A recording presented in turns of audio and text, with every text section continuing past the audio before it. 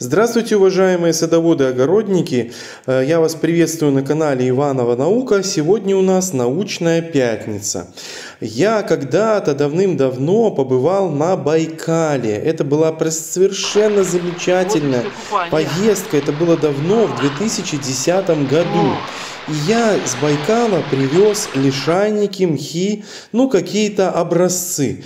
Э, Они высохли, я их положил в коробку и забыл на долгие-долгие-долгие года. И вот недавно, делая генеральную уборку, а это очень полезно делать, я эти лишайнички и мхи реанимировал. И решил, конечно, это знаете, любопытство пихает, пихает любопытство. И решил посмотреть, что на них живет. И ну, сделал питательную среду, все в рамках такой стандартной микробиологии. И к моему удивлению, здесь, на этих вот лишайничках, выросла совершенно чистенькая монокультура вот такой вот триходермы. Но визуально, конечно, монокультура. Здесь и э, какие-то сенные палочки повылазили, и другие виды бациллок, и даже сильные фосфат-мобилизаторы, азотфиксаторы. Ну, то есть какие-то группы очень интересных микроорганизмов, интересных с точки зрения сельского хозяйства и биологических таких уходов за растениями. И вот выделилась вот такая байкальская интересная триходерма. Следующим этапом выделения байкальской триходермы было, конечно, получение так называемых моноспоровых изолятов. И эти моноспоровые изоляты стали ну, таким предметом исследований. И вот смотрите, что интересное получилось.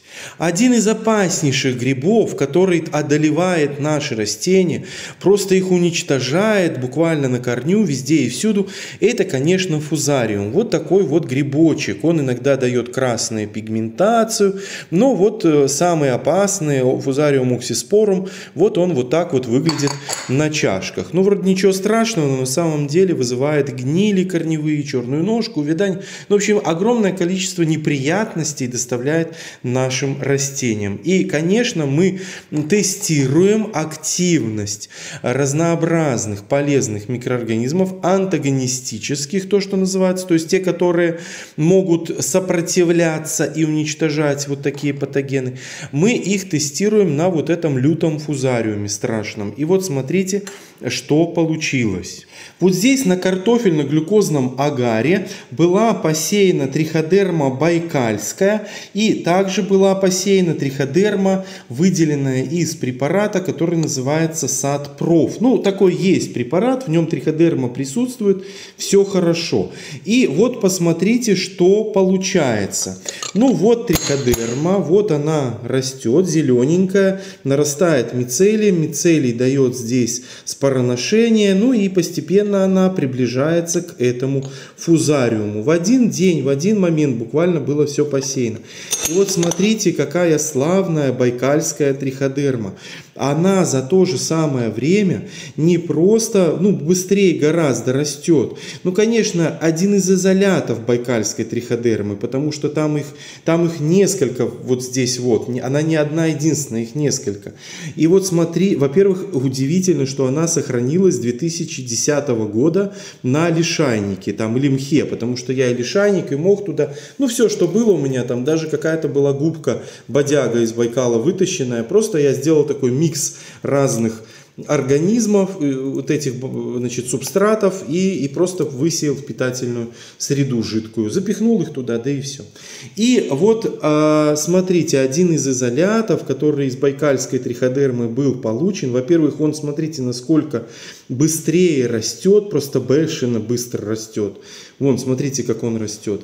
И смотрите, он уже паразитирует, что очень главное, важное. Смотрите, он уже а вот здесь вот паразитируют на фузариуме и буквально пару дней, и от этого фузариума ничего не останется. Он его просто полностью съест. И именно такая триходерма нам и нужна, потому что она будет наилучшим образом защищать наши растения.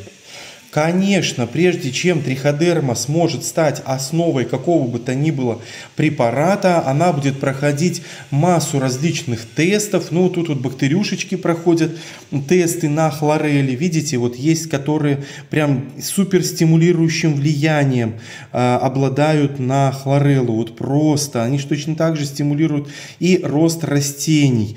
А вот эти вот являются, видите, токсичными а, и убивают хлореллу. Соответственно, они могут оказаться и вредными в отношении различных других растений. Ну, тестируется все обязательно. Вот тут тоже еще один тест стоит. Видите, все, так сказать, как говорится, выявляется и проверяется. Вот здесь вот смотрите, интересно, зеленая точечка, темно-зеленая точечка, не подписанная. Ну, что это такое может быть? А давайте посмотрим. А это не что иное, как Баверия сюда самовольно прилетела и села. Ну, бывает, слушайте, даже такие, вот видите, здесь тоже вот самоволка какая-то прилетела, это тоже Баверия прилетела, видите, и она тоже стимулирует, видите, Баверия самовольно прилетела и стимулирует рост растений, ну хлореллы в частности. Ведь хлорелла это то, что называется первичный продуцент почвенный. Он обогащает почву органическим веществом, этот первичный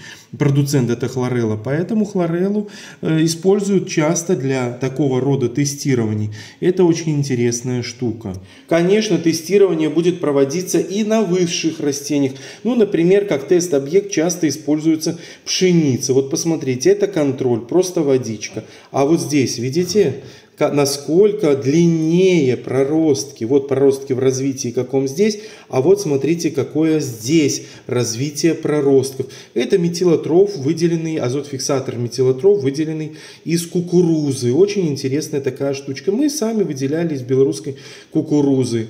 Вот смотрите, вот смотрите, это еще больше, еще гораздо более сильный. Вот сравните контроль, а вот смотрите, какая сильная, колоссальная стимуляция роста пшеницы. И это э, изолят, который выделил из узбекских почв один гениальный узбекский мальчик Фарух Намозов. И у нас этот изолят теперь в лаборатории является ну, буквально эталоном э, вот такой вот фитостимуляции. Ну и другие, видите, есть токсичные, которые выглядят хуже, чем э, контроль. Значит, они, конечно, не могут быть использованы для а, дальнейшего внедрения в сельское хозяйство.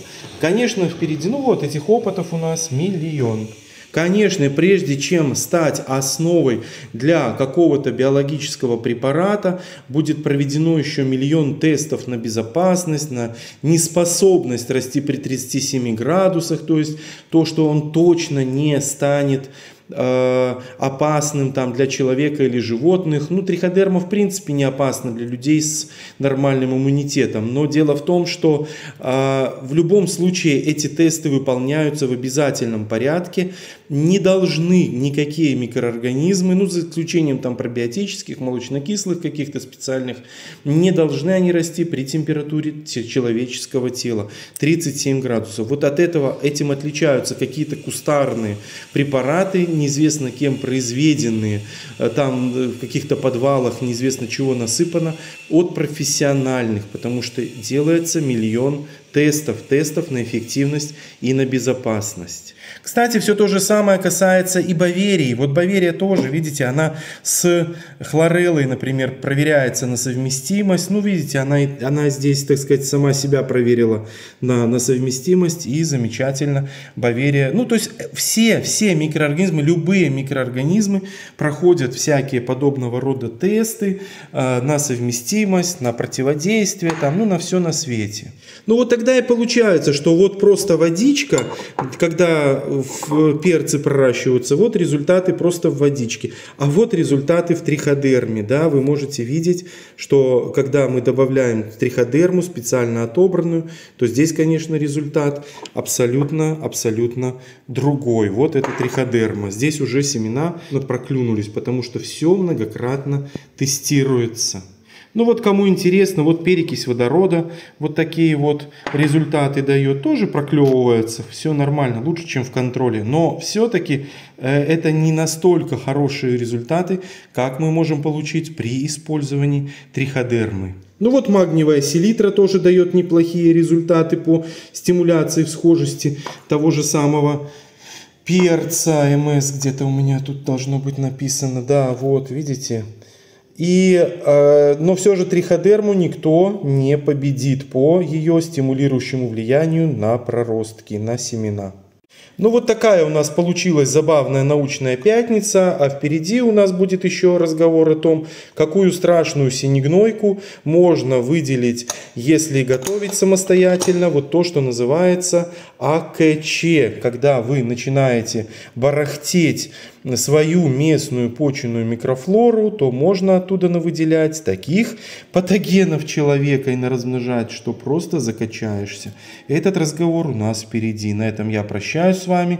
До самой скорой встречи.